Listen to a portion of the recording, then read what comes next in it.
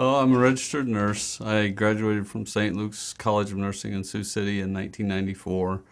I worked in emergency room for a short time, um, and then I started working in long-term care.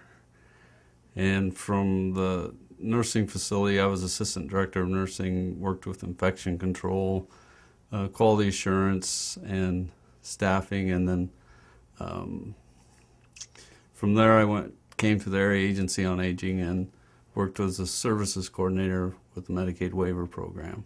When someone 65 or older applies for assistance to pay for their nursing facility stay, our agency is contracted to do an evaluation to make sure that they meet that level of care that would require nursing facility care.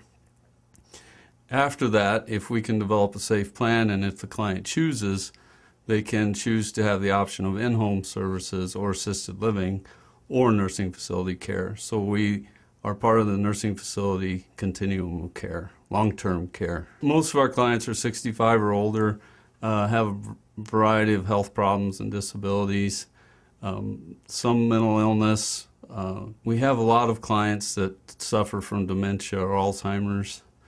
And uh, what we do when we do an assessment, we look at their activities of daily living and um, the activities of daily living that are required to have assistance with are like bathing, dressing, grooming, transferring, um, continence, toileting, and then we look at their medical needs.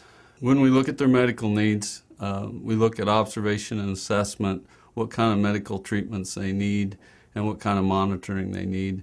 And then we look at their uh, memory. And the memory portion of our testing involves cognition, orientation, judgment and communication skills. In 1991, I was engaged in farming with my dad, and I was having a lot of problems with asthma and respiratory problems. So there was a big nursing shortage at that time, which there still is a big nursing shortage. I looked in the newspapers and I looked at all the ads and I saw the ads in nursing, so I decided to that I'd always liked helping people. So I thought I'm going to try it, and I enrolled in nursing school. It was it was almost an accident. I was working in the emergency room, and I was working six at night, six in the morning, driving back and forth, and we had five kids, and it was kind of a hectic schedule. And a friend of mine actually worked in a nursing facility, and she asked me if I would consider working there, which I'd never really considered a career in long-term care because when you get out of nursing school, you think, "Wow, I want to be." I want to be, you know, on the hands-on. I want to be in the fast pace. But uh, I thought, well, I'm going to try it. I tried it, and actually, it wasn't a lot easier than the emergency room because when you're working on in the nursing facility in a rural area, you're pretty much on your own. Doctor's phone call away, but you don't have all the technology and the and the uh, tools that you have in a, a big city hospital. So it it was challenging and very rewarding. Um, the elderly population is almost always extremely grateful for any help that they, that you can give them.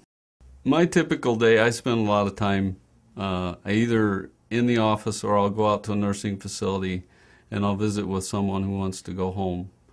Um, when I go to a nursing facility, again, I, I do the assessment process and we look at their activities of daily living, what they need for assistance, what kind of deficits they have, um, if they have any mental health needs as far as behaviors, any uh, safety needs, and then of course we always look at the medical needs and then their memory needs. And we may see two or three people a day, or we may see one person a day, and then a lot of times we'll come back to the office. We have to develop that plan of services and supports, make sure we can meet their needs and set up those services. Contact home health, contact Lifeline, find someone to mow their lawn, scoop their snow, um, make sure that home health's probably involved if they have any medical needs. High school students should probably look really hard at the at taking what they now call the hard sciences, the biology, the chemistry, the anatomy, the physiology, take those classes. It'll help them more in college.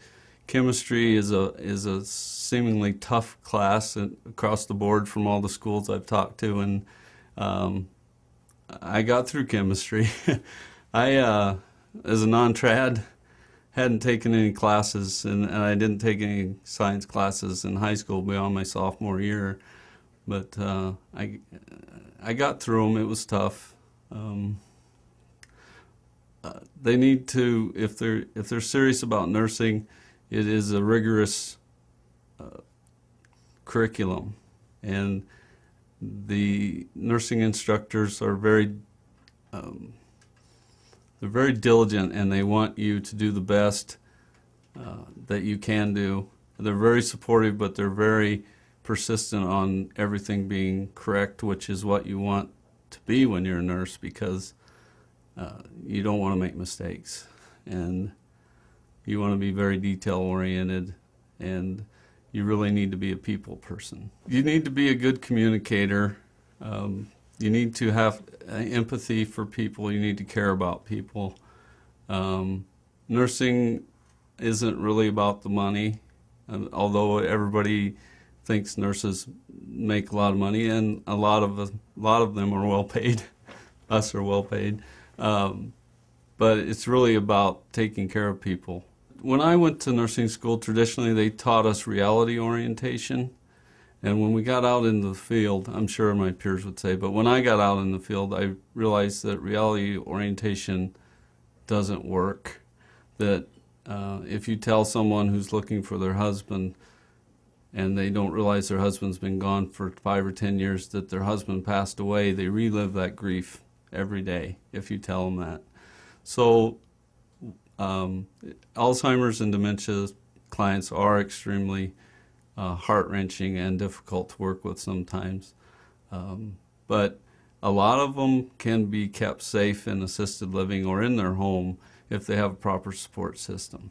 The most rewarding part is when you see someone in the nursing facility or in their home and they're beginning to lose all hope that they'll ever be able to live independently alone. And you can provide those services. You can find them someone to help them to stay at home or they can go to assisted living and have a private room and they can maintain their independence and stay in the living situation of their choice.